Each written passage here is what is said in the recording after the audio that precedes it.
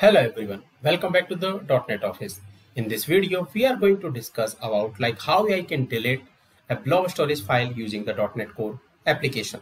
So in the previous video where we have discussed how to get blob storage file, how to download and how to upload a new file on the blob storage.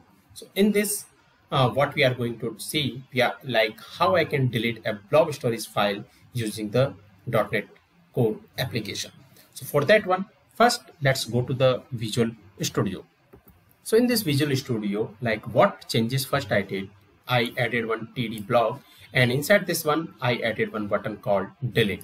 So this is the first thing changes which I did. Here you can see all these changes. Next thing, what I did on this CS file, I'm just calling on post delete method and I'm taking the blob name like for which blob we are going to delete. And in the interface, like I created one method called delete blob name. And in the service side what I did I'm taking the container and, and connection string in the variable. Next what I am doing here I'm just creating an object of the blob service client. And then I'm just calling the get blob container client. And then this client like this blob container client contain one method called delete blob if exist async so I'm just calling that method.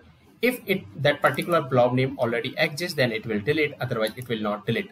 Then what it give us? It give us the facility like it will not give us any error if that file not exists. So we are safe. Like mm, particular file name, if it is not exist, but still we have given, so it will not give any exception. If it exists, it will delete. Otherwise, it will not.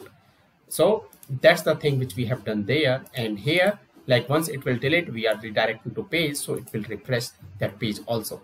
And if I will go on the Azure portal side currently we can see here total four files we are having. Once we'll delete any file it should reduce that. So let's run this application.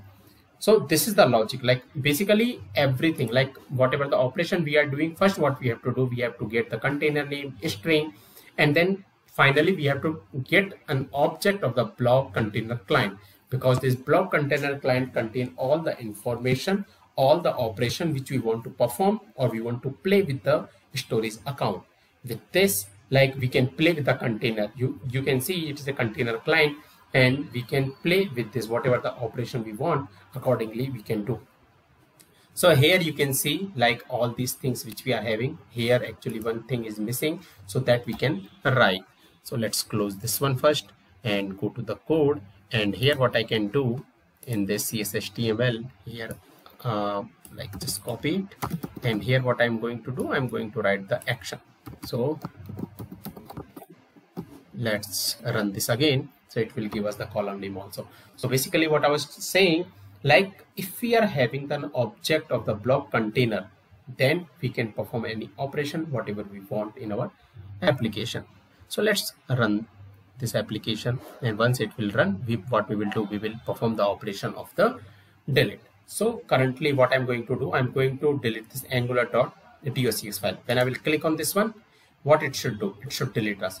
We can see currently there are three files only. Now if i will click on the sheet at the last file when i will click on this one i can delete that file. And currently we can see two files.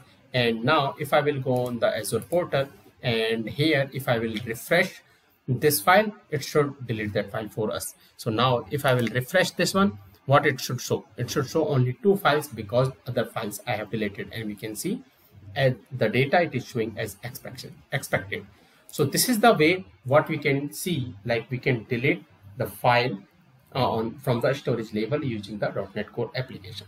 So that's it for this video. If you have any question and doubt, please comment. And if you like this video, then please share it with others. Thank you.